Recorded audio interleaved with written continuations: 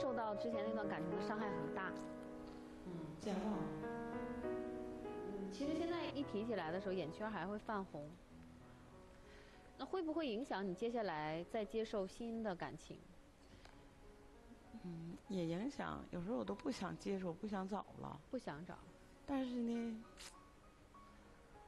儿子再三挑唆，让他有有病了，说得尿毒症了，雇人护理，还让我去护理，说一天给我三百四百，我说我也不要，他雇人护理四百多。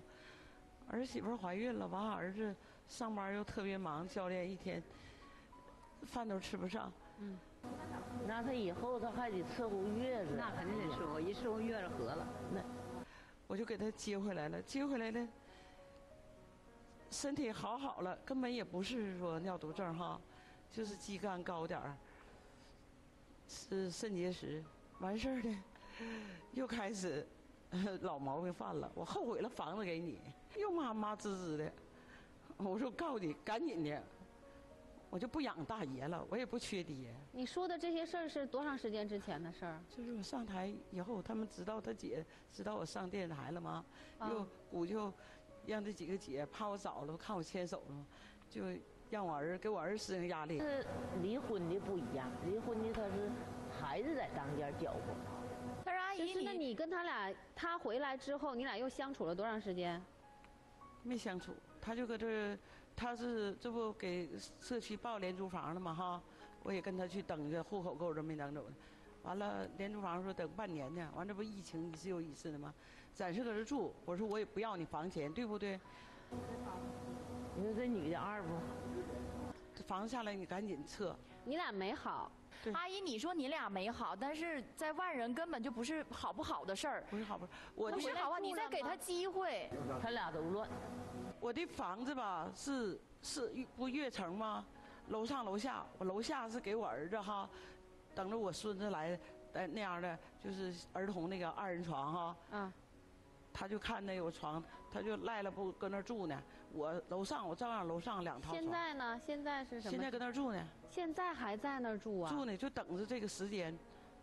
完，他现在有时候耍赖说啥的，离婚是假的，为了要房子嘛。我说他知不知道你今天来爱的选择？不知道。如果他知道的话，他会怎么样？哎呀，他看这个就都是假的，磨磨唧唧的。哎呦，不不搭理他，就是那样。那我想问问我们男嘉宾，你听完了我们女嘉宾在讲述她的前夫回来又住在她的家里这一段，你介不介意？这个肯定要介意的。你还你不也是那样吗？还说谁呢？他就是怕我领人往家来。我找个男的必须得有房子，为什么呢？我上家来你管我哈？嗯。我我上别人家你管不了我吧？我现在打工呢，搁外边钟点工。啊。我照顾一个老两口，一个九十四的，呃，一个老伴儿八十八，一天去三次钟点工。嗯。也就是你想逃离那个环境，让他找不着。我就是不搁家少少跟他接触。那个我我有一个好奇的问题哈，我就特别想弄清楚。刚才你跟主持人聊的时候，你有一句话，他说我照顾他生病，他生完病之后他还是没改，还是没断。那我想问你，他病好了，他要断的话，你这个机会是不是就能给他了？不能给。嗯，这个杯子打碎了哈，能粘上了吗？那你俩挺好，挺般配。我跟他感情一点没有，那就是为了孩子保持这段亲情。我现在不恨了吧，恨也没有用，恨我自己不开心。就是儿子的爹，我没办法。儿子知不知道你来爱的选择？他他知道，就是现在我儿子也没有办法，也不能打他骂他。那你儿子支不支持你再找新老伴儿？支持。我儿子听我的，我也尊重我儿子的意见。他认为他爸爸还可以回来吗？不可以。但是我跟你说哈。这个阿姨，你前夫这个人，我估计他找也他也不好找。他不好找。你听我说，他家里人不管。我觉得说实话，我觉得你这个前夫你甩不掉，就你甩掉了，你儿子也甩不掉。然后感觉就他好像就是想赖着你，或者就是就是这个房子，不见得是跟你也有感情，或者是夫妻。他我觉得这一生他好像不好的情况之下，他就想让着你照顾。他就想赖着你，对。那挺麻烦。他这五个姐给他还是给他出主意，怕我找没有人像我这么照顾他。